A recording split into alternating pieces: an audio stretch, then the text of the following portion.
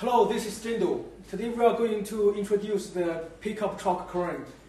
Um, the maximum capacity for it is uh, 500 kilogram for single line lifting. And if we use like this, the pulley block, the capacity can be uh, 800 kilogram maximum. And uh, to assure its uh, quality, we use uh, seamless uh, steel to assure its quality. We are the manufacturer of the motor and uh, also the whole steel structure, uh, so we can assure you the quality of it. Um, as you can see, the beam is uh, telescopic. We have three positions here. This one is 500 kilogram, this one 250 kilogram, and this one, uh, which is the longest, it is uh, 100 kilogram.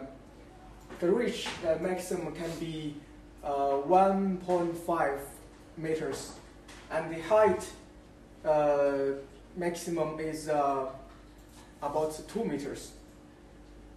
And uh, we put uh, much more attention to all the details, like the tube and also the, the stainless steel pins at the three. And uh, also, as you can see, the crane can be swiveled for 360 degree, which is around. So you can achieve the load and uh, unloading. And uh, one more thing, the motor here is a DC motor.